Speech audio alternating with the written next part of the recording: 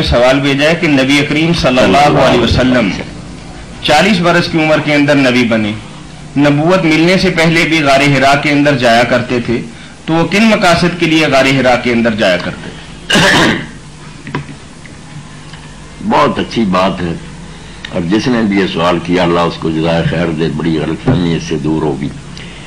پڑھے لکھے لوگ بھی یہی باتیں کرتے۔ ہیں کہ رسول کریم علیہ السلام نبوت سے پہلے غار حرام میں جاتے تھے، کتابوں میں بھی ہمیں یہی سناتے ہیں، پڑھاتے ہیں۔ بہت غلط بات۔ یہ تو وہی کفار والی بات ہوئی کہ یہ شخص تیاری کر رہا ہے گھڑ رہا ہے منصوبہ کہ میں نبی بن جاؤں، اس کے لیے غار حرام میں جاتا۔ اچانک ایک دن کہہ دیتا، فرشتہ آ گیا ہاں؟ بہت قیامت ان لوگوں نے اسلام پر ڈال دی کہ حضور پہلے سے یہ منصوبہ بندیاں کر رہے تھے۔ دعائی خدا کی اس بات سے توبہ کر آپ نبوت سے پہلے ایک دن بھی غار حرام نہیں گئے، یہ جھوٹی بات۔ توبہ کر لے۔ نبی کے ذہن میں بھی نہیں تھا کہ میں نے نبی بننا، یہ وہی یعنی میں غاروں میں جاؤں۔ نہیں۔ یہ میری بات آپ کو عجیب معلوم ہوگی مگر یاد رکھ لے۔ صحیح بخاری نکالیں، نبی بننے کے بعد آپ غار حرام میں گئے۔ توبہ توبہ کتنی غلط بات مشہور کر لی فرشتہ آیا ہے غار حرام نبی بن چکے تھے۔ حضور صلی اللہ علیہ وسلم پر وہی آنی شروع ہو گئی تھی، مگر وہی کی قسم کیا تھی؟ رویا، خواب۔ سچے خواب بس، آپ دیکھتے ہیں صبح روشن ہوتے ہیں۔ حضرت عائشہ فرماتے ہیں، نبوت کا آغاز جب ہوا تو وہ خوابوں سے ہوا۔ ان خوابوں سے پھر آپ کے دل میں شوق پیدا وہ اللہ کی طرف سے جب اشارے ہوئے وہ پوری ہونے لگی، پھر آپ کے اندر رغبت ہے پھر آپ وہاں جانا شروع ہوئے۔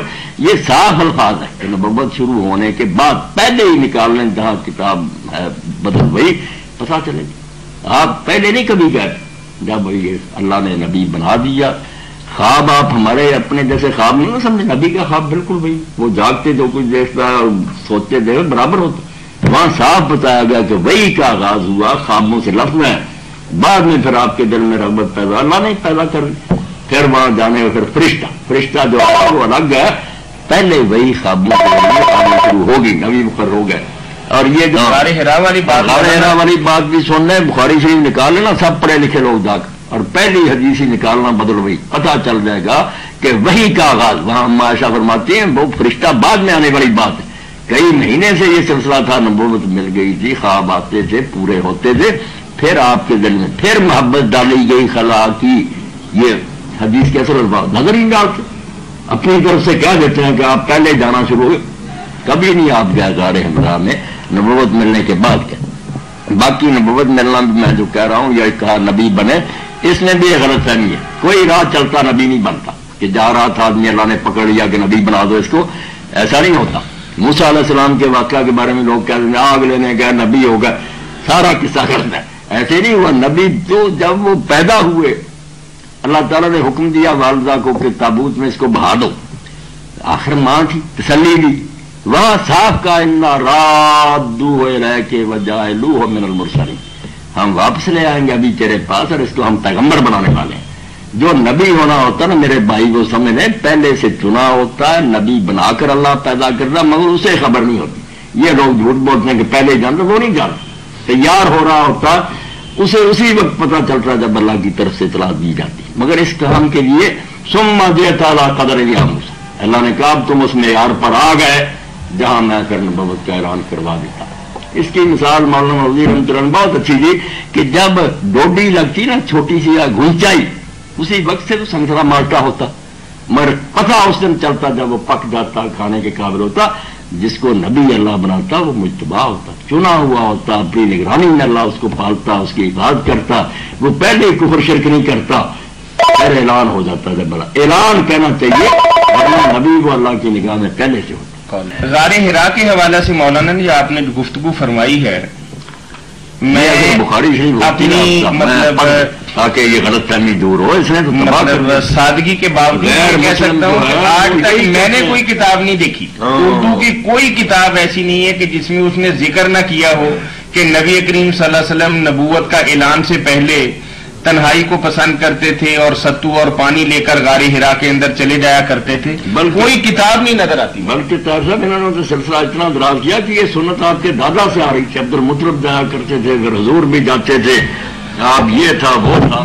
بھائی آپ حدیث دیکھیں اس میں کیا لکھا؟ آپ اپنی طرف سے یہ روایتیں کرتے بالکل صاف الفاظ ہے کہ نبوت مل گئی تھی۔ وہی کا آغاز ہو چکا اس کو بعد میں دیکھ لیتے ہیں پہلے اپنے سلسلے کو مکمل کر لیں۔ کریں کریں بالکل۔ نہیں آپ سے ہی کرنا ہے نا؟ صرف اتنا پڑھ لیں۔ یہ دیکھیں نا۔ اور عائشہ رضی اللہ تعالیٰ میں اللہ کان اکبر ما بودیا بے رسول اللہ صلی اللہ علیہ وسلم من الوحی الروی الصالح تو پنو پہلے جب وحی کا آغاز ہوا تو خواب دیکھیں فکان اللہ رویا اللہ جات مسرا کرا کی صبح آپ جب خواب دیکھتے تو صبح کی روشنی کی طرح سچے ثابت ہوتے۔ سما حب بہر خلا پھر آپ کے دل میں وہ خوابوں کے بعد۔ خوابوں کے بعد۔ وہی بد ہو گیا میرا وہی صحیح۔ بدا ہو چکا۔ وہ پھر آپ کانا یخرو بغار ہرا پھر آپ کے مولانا آپ کی بات بالکل بجائے اور درست ہے۔ مطلب پائیدار بات ہے لیکن بدقسمتی دیکھیے کہ ہمارے ملک کے اندر یعنی کوئی بھی کتاب آپ اٹھا کے دیکھ لیں کہ اس چیز کی نشاندہی نہیں۔ آپ کے سامنے یہ پڑھے لکھ رہا ہوں میں چونکہ نصارہ اور یہود کی کتابیں پڑھتا ہوں، میں دیکھ، سب سے بڑا حملہ ہی ان کا یہ کہ آپ کا نبی بھائی پہلے تیاری کر رہا وہ گڑ رہا تھا کہ مجھے کوئی آئے نام اچانک ایک دن کہہ دیا فرشتہ، نہیں، حضور کے ذہن میں یہ صبر تک بھی نہیں تھا قرآن پاک نے جیسے کہا نا، ہمارے کئی دوست کہتے ہیں، پہلے یہودیوں نے پہچان لیا، بھائی یہ بھی باتیں نہیں تھی یہ عیسائیوں کی کتابیں پڑھے پھر پتا چلے گا کہ یہ موضے کیا نتیجہ دکھا رہے ہیں؟ وہ کہتے ہیں ہمارا بہیرا راہب جو تھا، شام گئے اس نے ان کو بیوقوف بنایا کہ تم تو نبی ہونے والے ہو۔ یہ دماغ میں بٹھا لی یہ بات۔ نہیں، یہ باتیں چھوڑ دیں۔ اللہ جیسے قرآن میں کہتا نا ماں کن کا ترجو کتاب تجھے تو یہ توقع تک نہیں تھی کہ مجھ پر کتاب ہوتے حضور کو ایک دن بھی خیال نہیں آیا۔ ماں کن تدری مل کتاب ورن تو جانتا ہی نہیں تھا کتاب اور ایمان کیا ہوتا یہی تو موزہ کہ اچانک چالیس سال کے بعد ایک چشمہ پھوٹا۔ آپ نے کہا، عمر گزری، میری کبھی میری زبان سے کوئی گفتگو سنے یہ اگر باہر سے رمنی آج پہلے کیوں نہیں تھا میرے پاس؟ کوئی تیاری نہیں تھی، کوئی آپ کو مان نہیں تھا۔ یہ مسلمان کام خراب کرتے موزوں کے شوقین ہیں۔ پتہ ہی نہیں کہ کافر مورچہ لگایا بیٹھے۔ وہ کہتے ہیں، بھیرا رائے بن عیسائی جو تھا، اس نے ان کے دماغ میں بھر دیا ہاں، یہ ورکا بن نوفل کی بات یہ غلط بیان کر دی کہ حضرت خدیجہ ورکا کے پاس لے گئی۔ ورکا نے کہا، یہ تو وہی فرشتہ جو موسا علیہ السلام کے پاس ہے۔ وہ کہتے ہیں، ہمارے عیسائی نے تمہارے نبی کو بیوقوف بنایا۔ اس نے کہہ دیا، کوئی اس کو تو پتہ ہی نہیں تھا کہ میں نبی ہوں۔ ایسا ایسا حدیث پاک کو خراب کیا۔ میں نے اس لیے طاہر صاحب اس پر خطبہ دیا کہ اللہ کے لیے بدر وئی کو سمجھو۔ شیخ الحدیث کیوں بنا غرق کر رہے ہو؟ نہ آپ گاڑے ہرا میں گئے پہلے، وہی کے بعد گئے۔ اور ورکا کے پاس بھی اس لیے نہیں گیا اچھا ہو گیا، یہ بات کسی نے لکھ دی۔